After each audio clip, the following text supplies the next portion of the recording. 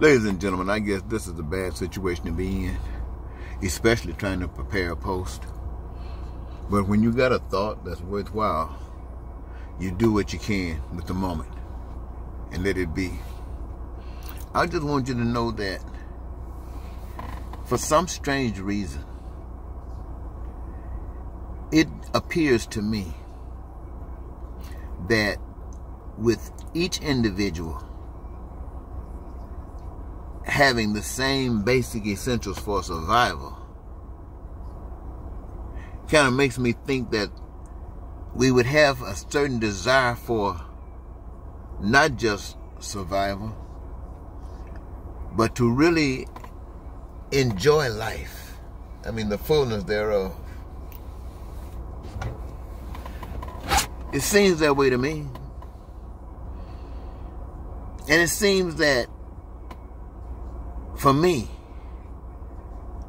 it is required that I feel the pain of the ones that suffer the most. But thank God, I haven't had to go that low just yet. But I want you to know that no one has to feel any pain from a lack of those things that are essential for our survival food, clothing, shelter, education, health care. Because God has prepared all the resources on the earth, or in the earth, or above the earth, some seen and some unseen, and given each of us a career objective, I guess, something that we love doing like playing football or basketball or dancing or singing or, or building houses or creating food or all those different things that we do.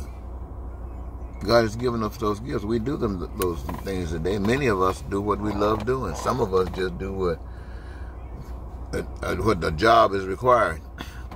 But in the real world, you do what you've been given to do. what I'm basically saying, ladies and gentlemen, in God's world, you got people talking about now food shortages. You got the president of the United States talking about arresting his adversaries. I mean, you got people actually going through these kinds of things, ladies and gentlemen. You got people talking about stacking the courts. One party saying uh, another party would stack the court, while at the present time this one, this party, is stacking the courts. And what is it stacking the courts for? To give them ultimate federal power over the rules and regulations, the laws that they pass that will force other people to do stuff that they might not want to do and say it's legitimate because it has gone through the system. Yes, it is legitimate. Yes, it would have gone through the system and it is the system of H-E-L-L. It is the system of pure hell.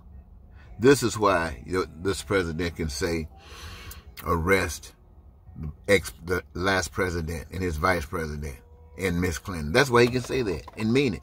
That's why he can stand over the bully pulpit and tell you things that no other president would dare belittle themselves, embarrass themselves, embarrass the children and the nation by repeating. But this guy will.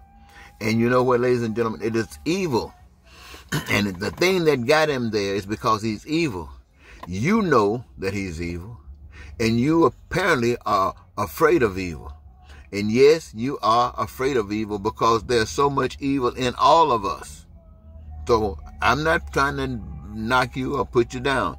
There is evil in all of us. And that's, this guy here has so much evil in him till he frightens us because he might expose our own evil. And since we have no other recourse, we don't believe in God. We believe in the system. That's why we created the system. To have a God that we can manipulate. To have a God that we can control. That's why this system exists. And so, I guess only thing I can say to you, ladies and gentlemen, is that you got all the evidence that you need. All the evidence that you need to know that we're dealing with evil. And that includes the Republicans and the Democrats. Yes, one is more evil than the other. But all of us are evil. If we are not working on the plan that eliminates evil, if we're not working on the plan of love, then we are all evil. that includes me. Let me say it again. If we're not working on the plan of love, and the plan of love is the plan that God has created and designed for us to have heaven on earth, if we are not working on that plan, then we are all, every last one of us, working on evil and working on evil's plan.